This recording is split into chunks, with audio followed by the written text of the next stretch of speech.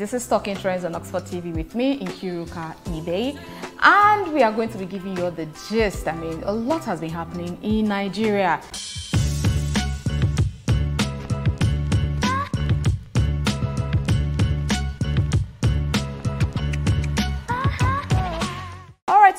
To be starting with this very first story. Since President Muhammadu Buhari took office back in 2015, they've always talked about what uh, the other governments did and what they did not do, what they've been doing, how they've been fighting corruption and all of that. So in Owerri, when um, the president went to commission some, you know, you know when they build a road from here to here, they put their poster. So he went to commission such roads and then, you know, where he now decided to, you know, give himself some accolades and kudos to himself and his government. And he's now saying that they have done extremely well from 2015 that they entered into power, that they have done extremely well. My brothers and sisters in the Lord, let's listen to our president. But to look at the the infrastructure, some of the roads since the good old PTF days, look at the railway, it was virtually killed. Power, we are still struggling. But when we came, was an unfortunate incident. The militants in the South South were unleashed. Between 1999, production went down to half a million barrels a day. And again, being unfortunate, the cost of petroleum went down from $28 to $37. But look at the problem in the Northeast. Check with anybody from Borno or Adama, how many local governments were in the hands of the government then? They were in the hands of so-called Boko Haram. But now, go and ask the hard-working governor of Borno State. Federal government is still there in charge now. So, relative terms of time and resources, this administration has done extremely well. I have to say it because those who are supposed to say it are not saying it. So you heard how he ended it. Like, these are things we've done, and if nobody's going to talk about it, I will be the one to talk about it. So let him just keep singing his praises. I'm not going to take any comment though, because we know how these comments will look like. So let's not take any comments. If you want to go and read comments, go online and go and read the comments. So another story I have here is actually quite disturbing because recently the Lagos state government have been clamping down on um, commercial vehicles, uh, motorcycles, tricycles, and even private vehicles. I mean, they've been a lot of impounding. Hey, grandma, don't start. They've been impounding a lot of vehicles in Lagos State. After impounding these cars, they are now saying they are going to auction it. So for the, I mean, last few days, for past few days, why am I speaking wrong English? Let me calm down. So for the past few days, yeah, they've been auctioning a lot of vehicles in Lagos State people who bought their cars way worth more than 2 million, 1.8 million, these cars are now being auctioned for 250,000 naira.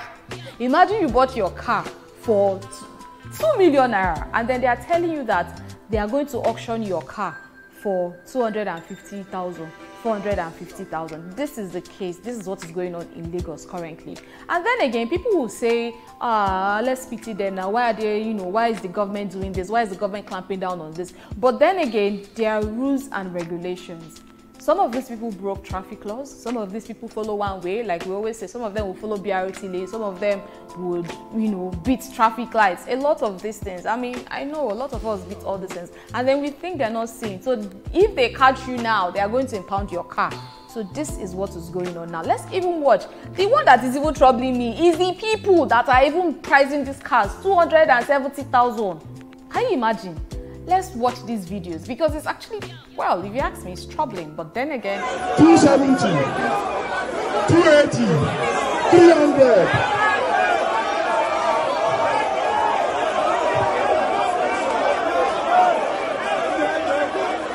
Three hundred.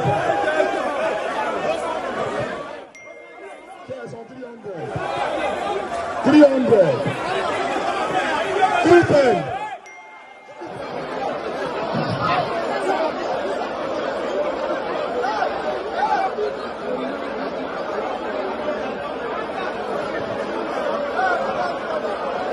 see, as you see people rejoicing, even in the And then what this government does is they don't even give you options. I know that most of these people, they must have told them to pay some fine and then get their cars, but they don't even have the money. The woman and her son they, that, they were, that were crying, that's like their means of livelihood and it has been taken away from them. What other options do they have? So let me take some of the comments. Someone here says, these people are heartless. God forbid. How will you use your money to purchase the tears of other people? Ha! Wickedness. Another person says, please, how can I get their contacts? Yeah, a good Samaritan. Another person says, Nigeria makes you feel like the world is filled with sadness. Who knows? But if they tell you to obey traffic law, just be trying and be obeying the traffic laws. I know this is harsh, but if you look at it on the flip side, what can we do? It's the government of Nigeria. That's what happens. And when they make these rules, I beg make they no go catch me for road, though. Hey. So another story I have here is, um, you know this phrase, another man's meat is another man's poison. This is the case. The federal government has granted 126 Britons, Lebanese, Italians, and others citizen. You know, like everybody in Nigeria currently, they want to jackpot and then you have oyibo people that jackpot into our own country and collecting citizenship. Hey!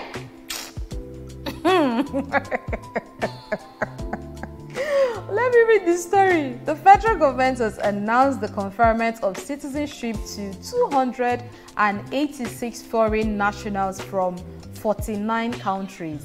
The permanent secretary ministry of interior dr shaibu uh, Belgore disclosed this in an advertorial signed and made available to the press. Hey! Even Belarus, Somalia, Ukraine, Ethiopia, Ireland, Kenya, Serbia, ah ah! Brothers and sisters, what's are they fight for this country? Hey! Hey! And then again, the one that is even troubling to me is that our president now posed with a for a picture, like they did a picture up with our president. I wanted to ask this question. Those of you that they give citizenship in America and UK, they, they snap with uh, the prime minister and the gov and the president. Ataya, somebody else says one man's meat is another man's poison. Another one says make them know they drag small oxygen where we they manage for this country. I beg. Another one here says for wider is the gate that leads to hell.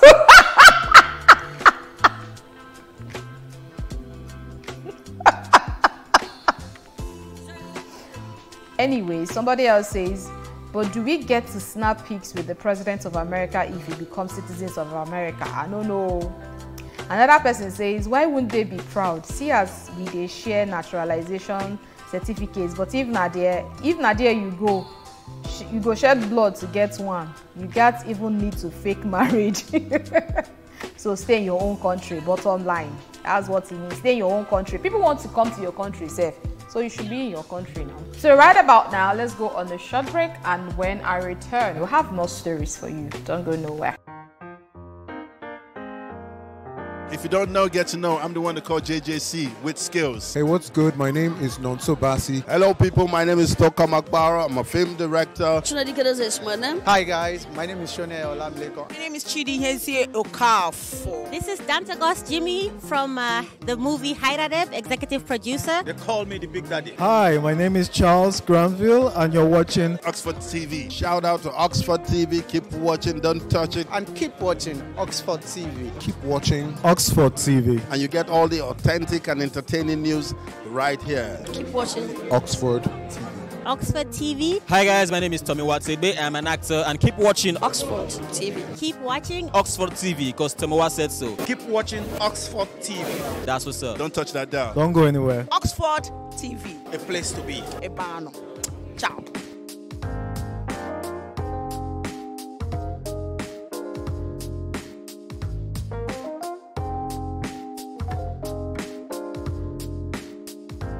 You're welcome back, and if you have just joined in, you haven't missed much, but you have missed something. You can rewind and go and watch other stories. So, this other story I have here, like it dates back. This is like our history. It dates back like 125 years ago during the slave trade. We all know like what happened during that time. A lot of people were taken out of the country by colonial masters who came to colonize African countries some of them came from Britain, Britain, some of them came from Germany, France, Portuguese, and all of that. They were all in the African soil, trying to colonize Africans, you know, trying to give them civilization. Some of them said they brought mirror to them, you know, they've not seen mirror before. Our ancestors then, they've not seen mirror before. They'll bring mirror to them and tell them that, ah, okay, oh, this is what we're bringing for you. They even brought religion to us.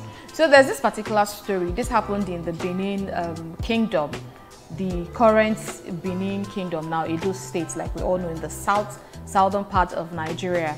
So during that time, there was like a trade ex, I mean, there was trade between uh, the Benin Kingdom and the British uh, colonial masters and all of that. So they were selling some of the artifacts in these kingdoms. You know, when you say, okay, um, give me this and I'll give you that. More like trade by barter. So they were selling a lot of the artifacts they had then. So suddenly something now happened. Some Britons were killed. They said about seven Britons were killed. That now led to um, a war. You see a war, I will call it, but something happened though. And then the British government or the British colonial masters who were in Benin Kingdom that time decided to kill the people of Benin. They, they killed them, burnt their houses, killed women and children, and all of that. After doing all of this, they stole those their artifacts that they were selling. The bronze the i mean you can see pictures of the things that they stole back then. So currently they're saying that about 900 of these things are sitting well in the british museum. Some of them are in germany some of them are in france and then i mean scattered all over the world. Because if you go to these museums you see those things. And then when most of us go over there for holiday we'll be shouting wow wow like broken siren and be looking at our own heritage in some other person's museum. So currently there's been a back and forth as to we want these things back. Nigerian government is saying we want our bronze and our artifacts back. Those other countries are saying Ah, I don't know how we're going to do it though, but currently France have agreed that they are going to return some of these things back to Nigeria. Germany has also said they are going to return them back to Nigeria. But the British Museum is saying that they want to share with us. Imagine you stole somebody something. Let me not even talk too much. Let's listen to the cultural secretary making this comments. I spoke to the culture secretary, Oliver Dowden, and I began by asking him whether he thought the stolen should be owned by Nigeria?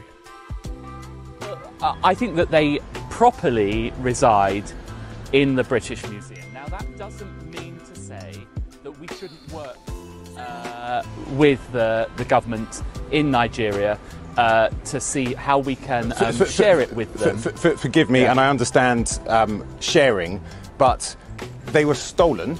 Do you not think that they should be owned by the people that they were stolen from in the first place? Well, I think the, the problem with this, and of course, um, if we go back to things that happened in the, the, the 19th century mm. and judge them by uh, our values of today, it's completely uh, unacceptable. But uh, my concern about this is where do you actually draw the, the, the line with this? The collections of our great national institutions have been developed over many, many centuries, in many times in uh, questionable uh, circumstances. I think the question now is about what we do with these. Mm. I love the Benin uh, bronzes. I've seen them many times throughout my life, and I think them being in the British Museum. Uh, which is a world repository of heritage, allows people to see it, but that doesn't stop Understood. us from, from, from, sharing it. Okay, but ownership is key, right? Yeah. And the Nigerians say, the Nigerians say that if, when they get them back, they would almost certainly be happy to loan them back to you. But the fundamental problem is that they were stolen from the Nigerians and they want to own them. I completely accept that they were acquired at a time of um, rampant uh, uh, colonial expansion in, um, in, in Africa in circumstances that I'm not in any way going to sort of uh, defend or condemn with the values of the, the, the 21st century. So that's the secretary, the, the British cultural secretary, saying that he, they want to share with us. They want to be sharing it with us. You came to somebody's kingdom, you stole their stuff, and they said return it. And you're not trying to say you want to share it. It's just like I keep uh, money in my wallet, and then you go there, steal my money, and then I catch you and say, ah, you stole something from me, oh, give it back to me. And you're telling me, oh, let's share it, probably 50-50. I'll give you 500 and collect 500. How does that make any sense? So that is what the, the, the British Cultural Ministry or Minister is saying currently. And then somebody will now say that this comment made by Professor Uju Anya is barbaric. When she said, I heard that the chief monarch of a thieving, raping, genocidal empire is finally dying, may her pain be excruciating. Yeah, I understand the time sensitivity of this particular tweet, but what is um, wrong in the speech? She said thieving, they came and stole. Genocidal, they killed. Raping, and you know that by the ICC, the International Criminal uh, Court, they said one of the crimes of war is rape. So all of these things happened back then. So I don't see anything wrong with these tweets that they are calling barbaric. Yeah, I understand that, okay, the time is not right for this kind of a thing, but let's call a spade a spade. But remember, I don't have any opinions whatsoever. Anyways, no comment on that. Um, let me take another story. This one is quite interesting. Is is quite a pity. Like the things we do when we are when we say we're in a relationship, when we say we're in love with someone, when we you know those whole cliches of people in a relationship do. This has cost a 24 year old lady or girl. She's going to be in prison for the rest of her life. Let me read the story. A 24 year old Tavia Chapman is facing life imprisonment after plowing her van into her boyfriend and a pedestrian at a mall. According to the Hamilton um, County Prosecutor's Office, the pedestrian Christopher Scott Griffin, 58, died as a result of the injuries he sustained when he was hot, when he was hit by Chapman's van. So this lady found out that her boyfriend texted her sister you know some all those i don't even know all those kind of stupid things though. So she found the text and then now decided to go and kill her boyfriend. And in the process she didn't kill the boyfriend but she killed someone else.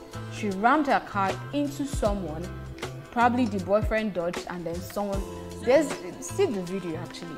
I mean I don't know why people do all of this, and I don't know how we can emphasize this whole relationship issues. Walk away. If you saw a kind of text like that and you think, okay, yeah, he's cheating on you and all of that, instead of you to now go and commit murder, why don't you just walk away or even talk about it? And then when you can't reach a reasonable consensus, you just walk away. Now you're going to spend the rest of your life in jail, and this is what happens every day. You hear that somebody poured somebody acid because they found a text message, because their husband or their wife is cheating. Walk away. It's not watch your life. Tomorrow people now be saying men are scum. Yeah, men are scum, but they also lead you into hell because you've killed somebody now and you're going in for it. Let me take some of the comments well, before I talk too much.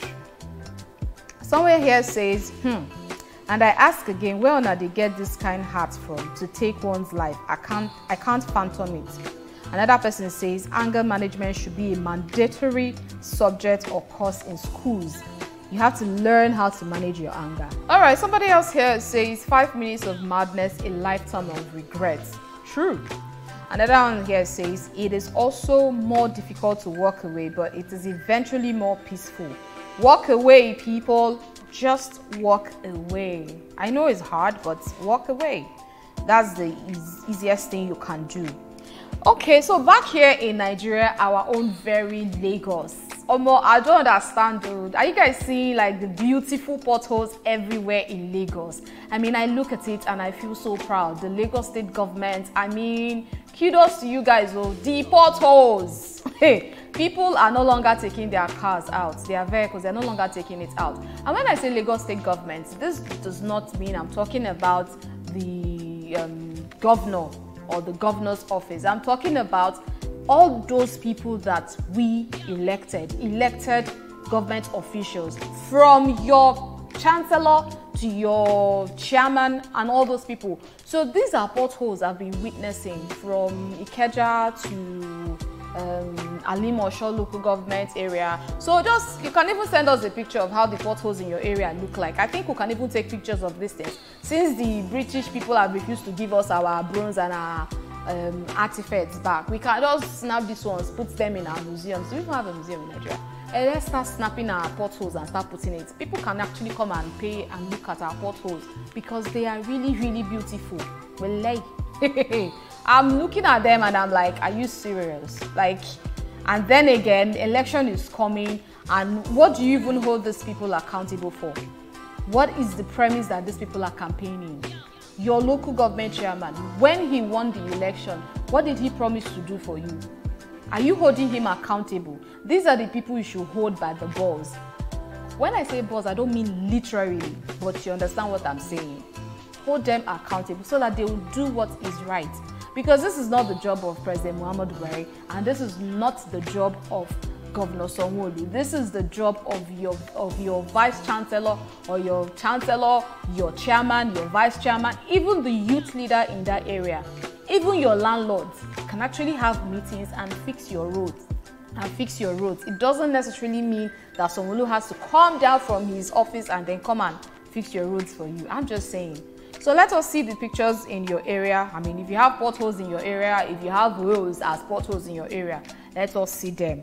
And then, I mean, we can take pictures and they're so beautiful, don't you see? Very, very beautiful. Forget the rain. Oh, you know that rain has another um, bad effect on the roads, but look at these potholes now. Very beautiful.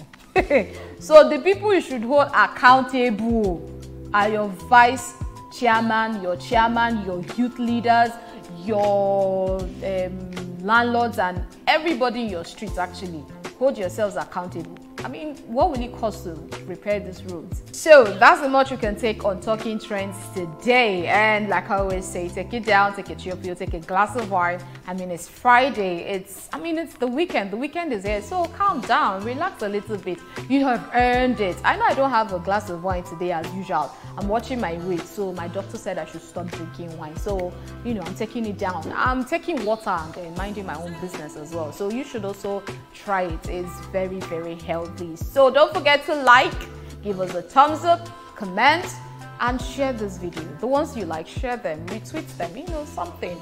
And then don't forget to subscribe. Subscribe to the YouTube page. You're not going to get, you're not going to pay to subscribe. Just a click away. Just subscribe. It's very easy like that. So thank you all for watching until I come your way again next week. I'm Kiruka Ibe.